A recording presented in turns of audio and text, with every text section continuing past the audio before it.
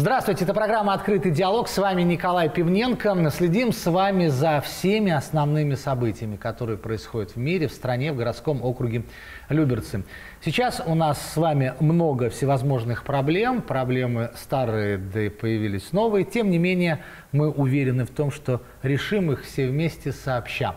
Ну а впереди нас ждет весенний, главный весенний, да и, в общем-то, главный, наверное, праздник для многих из нас – это День Победы. Тем более, что в этом году 75-летний юбилей. И поэтому много наших программ будут посвящены этой, на мой взгляд, важной теме. Сегодня у нас в гостях семейный дуэт. Я рад представить вам преподавателя математики, школьного преподавателя математики. Это Татьяна Алексеевна Хализева и Анастасия Хализева, дочь преподавателя математики. Правильно? Правильно, здравствуйте. Здравствуйте. здравствуйте. Я вижу, что вы пришли к нам с документами. Сейчас э, на многих телевизионных каналах, во многих регионах да, появились всевозможные акции, связанные с увековечиванием памяти. Ну или даже не с увековечиванием, а, скажем так, э, с более подробным изучением всех наших дедушек, прадедушек, которые принимали участие в войне, которые работали в тылу, ну, в общем, что называется, ковали победу. И, на мой взгляд, с одной стороны, это как бы история, конечно же, замечательная, потому что а, вот я вспоминаю там 80-е, 90-е годы, даже скорее 80-е, когда ну, были традиции, приглашали ветеранов, да, необходимо было как-то провести встречу, но особо, ну, слушали рассказы, то есть рассказы живых людей про историю войны. Потом, к сожалению, ветеранов стало меньше, меньше, меньше, но я прекрасно понимаю, что не особо даже в семьях люди а, выясняли, за что получил орден. Как ни странно, так было, потому что очень многие а, а, солдаты, которые пришли после Второй мировой, после Великой Отечественной, особо-то и не рассказывали. И вот спустя десятилетия появляются проекты «Бессмертный полк» и многие другие. Я так понимаю, что вы нам расскажете еще об одном. Первый вопрос. Почему сейчас, спустя столько много десятилетий, вдруг решили многие просто жители узнать историю своих реальных дедушек и бабушек? Ну, я считаю, что не только сейчас, а вообще всегда интересовались люди. Это же наши родственники, наши предки, наша гордость. Просто, э, скорее всего, подтолкнули их э, к этому новые проекты, которые действительно очень часто организуются в нашей стране.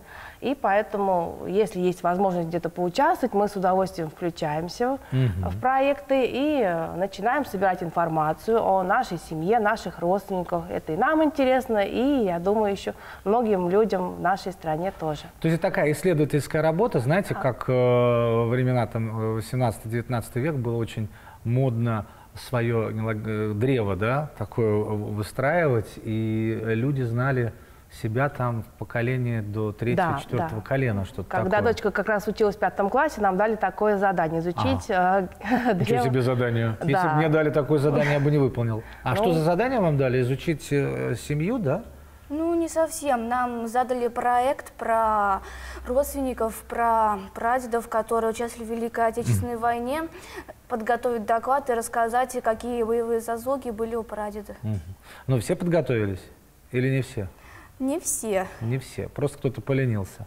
Ну, а вот интересно вообще заглядывать в историю э, человека, который э, жил когда-то давно и не просто жил, а попал вот в такую э, историю под названием Великая Отечественная война. Ведь это не каждый может выдержать. Интересно было? Да, очень интересно, тем более я хотела узнать героическое прошлое нашей семьи.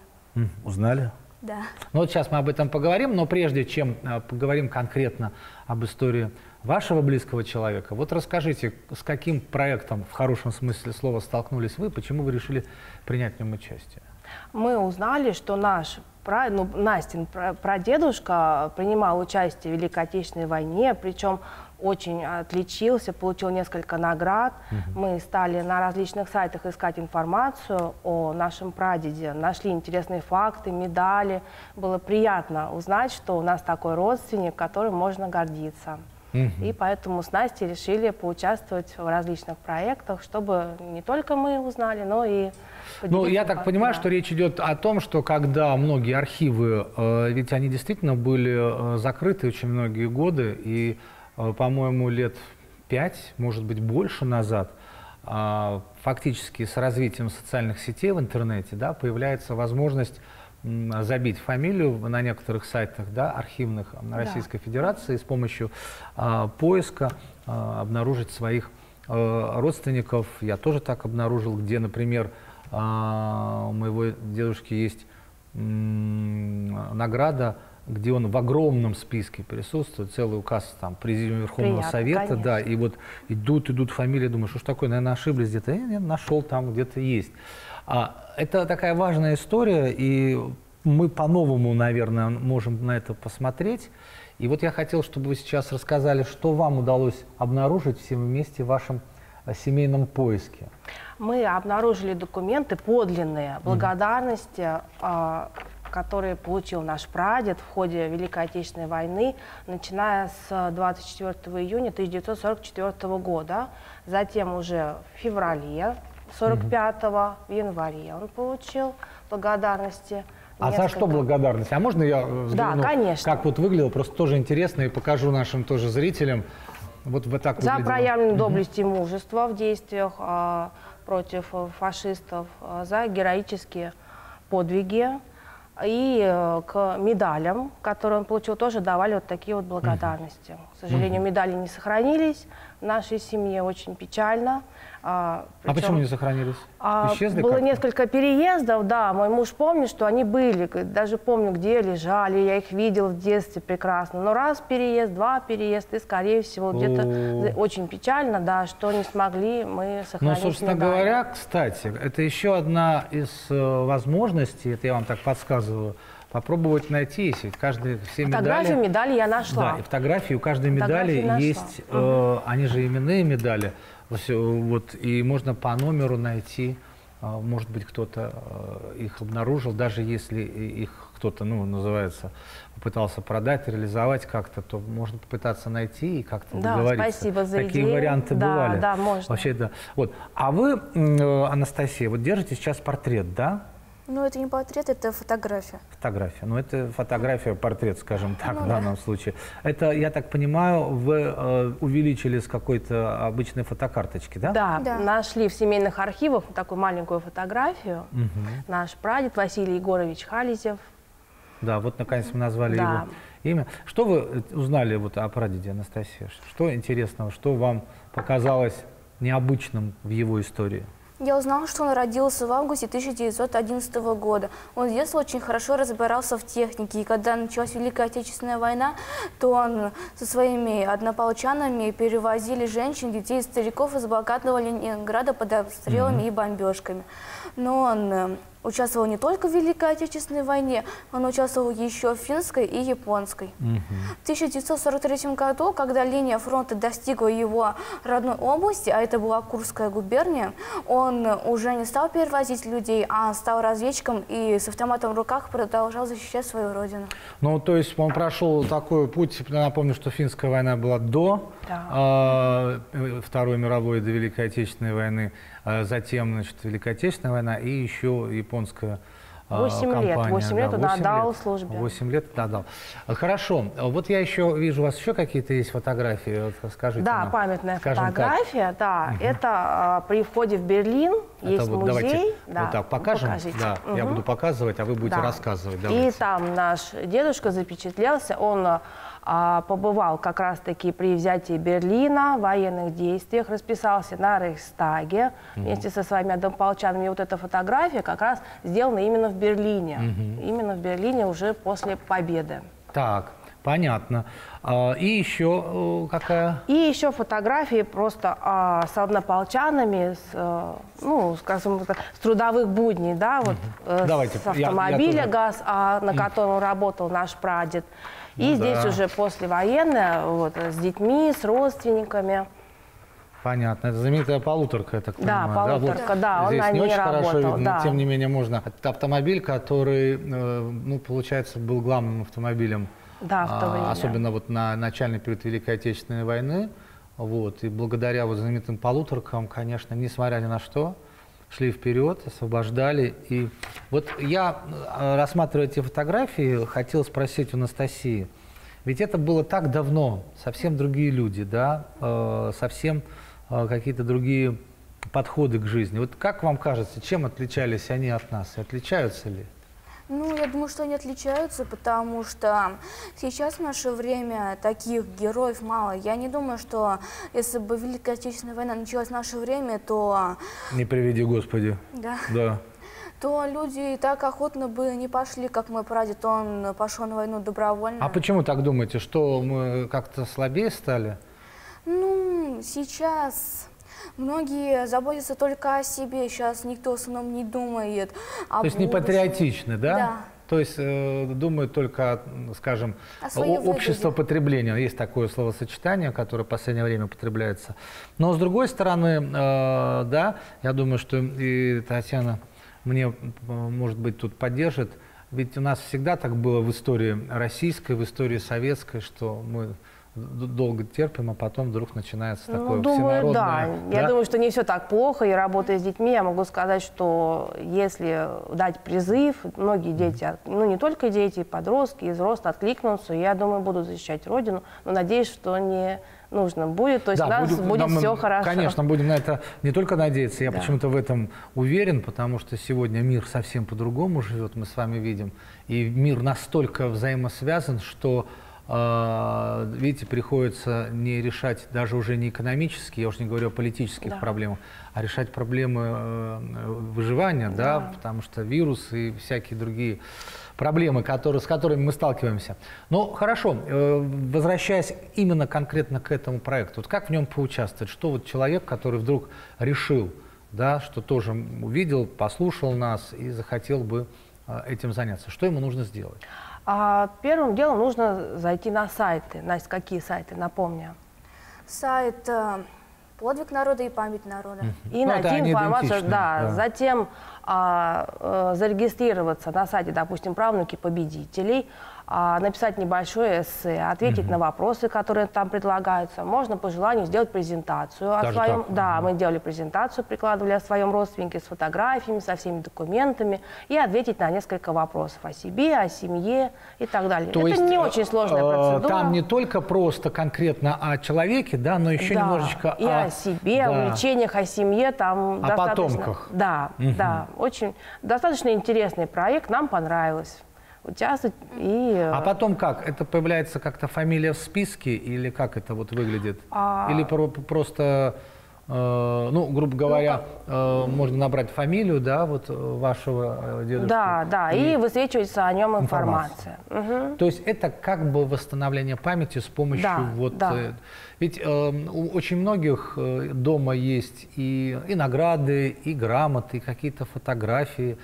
Вот, э, там моего деда кортик есть. А, Раньше я помню, что когда он еще был жив, и форма была специализированная, да, он ходил с этим кортиком. Сейчас как-то так смотришь, что... То есть я к чему веду? Если внимательно и изучить все, что есть в семье, да, даже в большой, Да. когда уже получается третье, четвертое, где-то пятое Ну, поколение. можно, конечно, найти Да, что-то интересное. Можно найти что-то интересное можно. про человека. Хорошо. Ну, давайте мы э, сейчас с вами на некоторое время прервемся. Напомню, что у нас здесь в гостях семья, э, преподаватель математики Татьяна Хализева с Анастасией, дочкой. Совсем скоро мы вернемся в студию и продолжим нашу программу.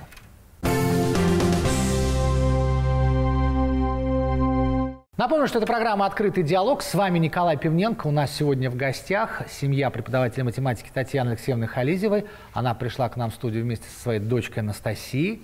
Напомню, что в первой части мы рассказывали об их участии в одном из проектов который посвящен 75-летию Победы. Собственно говоря, даже уже не 75-летию, сайты, на которых можно зарегистрировать информацию о своих родственниках, участниках Великой Отечественной войны, довольно много, они существуют давно, проекты разные, но тем не менее мы во второй части хотели бы сейчас поговорить о патриотизме сегодня, потому что, на мой взгляд, тема немножечко э, заезженные. Сейчас объясню почему. Татьяна, скажите, пожалуйста, вот некоторые скептики считают, что э, такое глубокое погружение в историю, ну, понятно, да, нашли замечательно, э, значит, какая-то информация, фотографии и так далее и тому подобное. Вот мы разместили все, на этом что, патриотизм закончился? Нет, конечно. Патриотизм, я считаю, это глубоко внутреннее чувство, которое mm-hmm. нельзя привить а, нарочито, да, специально. Нет, это именно желание человека узнать больше о своих родственниках, о семье. И не только о своих, а послушать кого-то, его рассказы или прочитать где-то, посмотреть интересный какой-то фильм. Патриотизм присущ, я считаю, каждому человеку, то просто в той или иной степени. А вот э, вам кто-то может, например, сказать, ну а почему человек должен быть патриотичным? Ведь ну, имеет право думать о себе. У него же есть личная, да, либо свобода личности, либо личная свобода. Да, э, все, э, не трогайте меня. Вот были мои дедушки, отвоевали, отвоевали. Даже если была бы война, я бы отвоевал. Ну не трогайте меня, мне это не интересно. Я иду вперед, я смотрю вперед.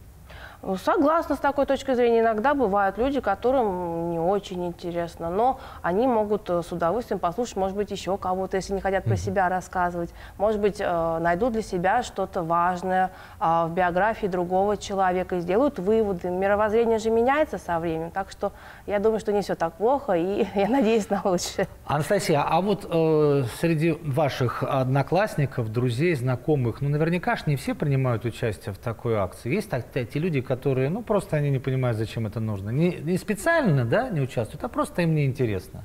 Ну, у нас в классе, в принципе, есть такие люди, но не все. У нас в классе также есть активные ученики, которые тоже с удовольствием участвуют.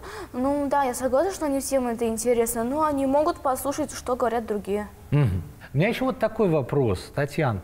Он, мне кажется, очень важный. Здесь у нас в студии были э, очень интересные тоже люди, например, поисковики, которые до сих пор ищут захоронения, которые приносили с собой уникальные вещи. Это э, записки солдат, потому что, к сожалению, э, особенно здесь, вот в Московской области, да, на, на подступах к Москве, когда враг пробивался, огромное количество до сих пор можно всего найти. И э, жертв, и э, техники, правда, еще которые не, не прикасалась конечно. рука человека угу. со времен э, начала Великой Отечественной войны. Я уж не говорю про наполеоновское время, тоже можно найти. Так вот, когда они приходили, они говорили, что, к сожалению, многие солдаты э, не оставляли о себе никакой информации. Ну, просто, знаете как, человек верит, что с ним ничего не случится, или некогда было. И поэтому установить личность очень сложно. Вопрос у меня такой. Вот вам, ну, если можно выразиться, да, в таком важном и сложном деле повезло, вы узнали историю своего прадеда, деда. А что делать тем, у кого до сих пор стоит вот это вот страшное слово перед глазами? Неизвестный, да? То есть непонятно, что с человеком произошло. Ну, Ничего. Вот он ушел на фронт, uh да, есть же такие люди, у которых нет с первого дня, вот ушел, ни письма, ни, никуда его даже отправили, может быть. Вообще ничего не известно об этом. Как им быть? Ну, я считала, что есть специальные службы волонтерские, которые занимаются именно поиском а, пропавших родственников а, и находят, кстати, много безымянных могил, находят какие-то данные, потом и ищут родственников. То есть я думаю, что можно постараться. А если не, а если не найдут? А если найдут, ну что ж, тогда, получается, храним в памяти. Ну вот мне вот, э, вот это такая важная история. Почему? Потому что ведь это же как скажем так, наши предшественники, вот если внимательно посмотреть старую хронику, да, еще довоенную, военную, послевоенную хронику, вот кажется, что даже люди какие-то немножко другие. Вот как вы считаете, мы другие люди? Мы достойны сегодня хотя бы чуть-чуть тех людей, которые вот так пошли и не вернулись оттуда? Ну, конечно, достойны. Я смотрю на подрастающее поколение, вижу много, очень много хороших детей, ребят, которые, я думаю, будут с честью представлять дальше наш народ на веках истории. И есть, конечно, чему поучиться. Я считаю, что раньше были более ответственные, угу. более организованные люди, более привычные к труду, взаимопомощи, взаимовыручки. Ну, я помню, что примерно то же самое говорили мне в середине так, из поколения в поколение, да, годов. Да. А, еще вот такой вопрос. Когда появилась акция «Бессмертный полк», а, я помню особенно вот первый год, и, наверное, первый год еще так был неожиданно, а вот второй год прямо, ну, это было какая-то совершенно, вот прямо ощущение было этого даже не патриотизма, а я даже не знаю, как это назвать. Единение какого-то да, духа такого да, вот, все, вот на этот день, в этот день, когда вот по Москве, да, идешь по Красной площади, и все люди кажутся какое-то действительно единое целое. Да. Неважно, там же люди приезжали из-за границы, я уж не говорю про страны э, бывшего Советского Союза, республик бывшего Советского Союза, выходцы. А потом э, стало появляться ощущение, пошли предложения в школу выделить столько-то людей, э, вузы выделить столько-то людей. А не кажется ли вам, что есть э, ну, опасения, что это может превратиться ну, просто вот такую, знаете, акцию, как когда-то на Первомай ходили на демонстрацию? Ну, возможно, в некоторых городах так происходит, но у нас нет. У нас по желанию формируются всегда колонны, и все, кто приходит, приходят именно от души. То есть нету нет, списка Нет. У нас нет списков. пофамильного? Нет, нет. Приходят только те, кто хочет. Не только дети, мы от школы идем, и родственники. Все, вот все, кто заинтересован буквально. И даже просто, если э, нет э, родственника и портрета, просто люди приходят с гвоздиками, дарят ветеранам. Ну да, Это да. очень приятно наблюдать за этим А, событием. Анастасия, скажите, пожалуйста, а вот если бы у вас появилась неожиданная такая возможность, мы же можем помечтать с вами, да, и э, каким-то образом вы смогли бы встретиться со своим прадедушкой, пообщаться с ним. Вот какой бы вы главный вопрос ему адресовали? Как вы считаете? Вот что бы вы у него спросили? Вот была бы такая возможность. Почему вы пошли на войну? Даже на «вы», потому что мой прадед, он очень сильно старался ради отчизны, он рисковал своей жизнью, поэтому я даже к нему на «ты» не посмею обратиться. Да? Да, уважение. Вот. А как вы думаете, почему он пошел? Потому что он заботился о будущем поколении и о нашем будущем. А может просто потому, что у него не было просто другого выбора, как у любого человека, в хорошем смысле слова. Потому что если на тебя кто-то нападает, ты должен отвечать. Ну, так, э, знаете, вот маленькая деревня, маленький город, большой город, столица, большая страна. Конечно же, были люди, которые, что называется, не хотели в этом деле принимать участие. Вот, кстати, э, Татьяна, еще такой вопрос.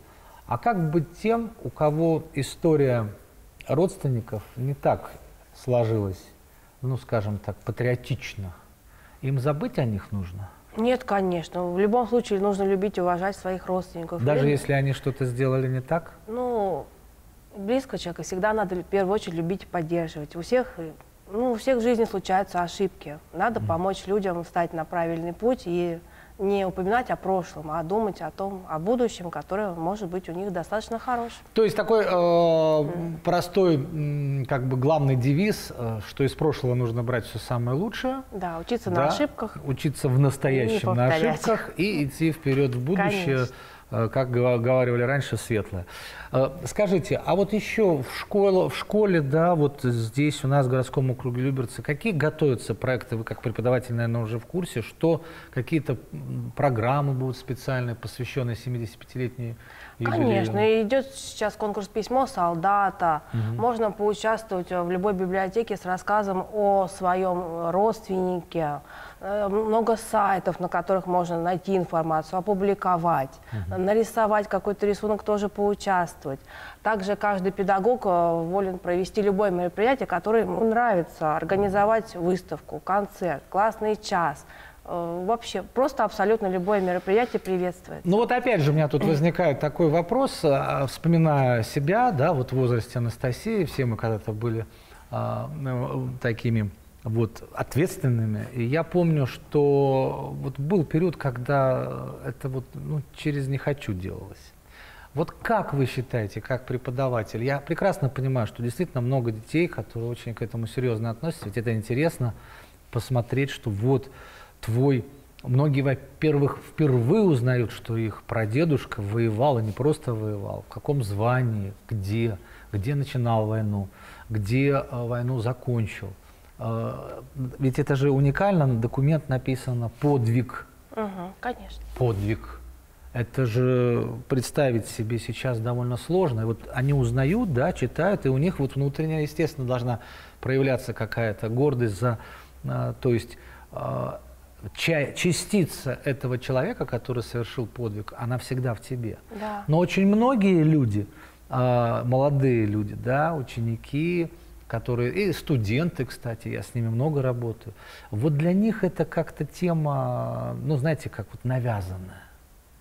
Вот как правильно с точки зрения педагога, может быть, где-то эту историю нужно отпустить, чтобы человек сам пришел, как-то по-другому ему э, преподнести это, ну, с помощью, я имею в виду, тех же новых да, подходов в сетях, э, много всяких акций проходит. Почему? Потому что есть э, такое опасение, что это все немножечко превратится, знаете, в такую, ну, как бы неинтересную историю. Конечно, мы э, стараемся, чтобы дети заинтересовались сами, поэтому рассказываем на классных часах о том, какие у нас проводятся акции, предлагаем детям самим придумать какое-нибудь вот. интересное да, мероприятие, да, да. то, что нравится им. То есть я всегда с классом работаю так. Вы мне предлагаете идеи, мы совместно решаем, и уже потом с вами формируем какую-то общую концепцию нашего дальнейшего Понятно. действия. Понятно. Анастасия, ну и последнее скажите. А, что будете делать 9 мая? Надеюсь, что у нас с коронавирусом к тому проблема решится. Куда вот пойдете?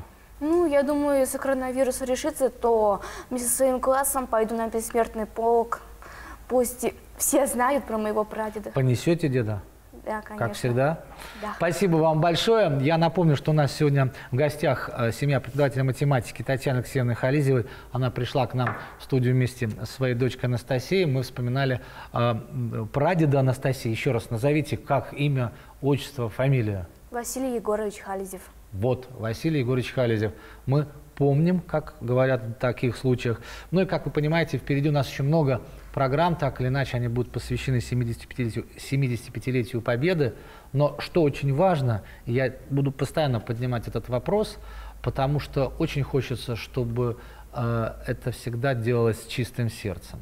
Обман здесь точно не пройдет. А мне кажется, что вы делаете это с чистым сердцем. Спасибо вам огромное. И вам с спасибо. вами была программа «Открытый диалог». Николай Пивненко. Всего доброго. До свидания.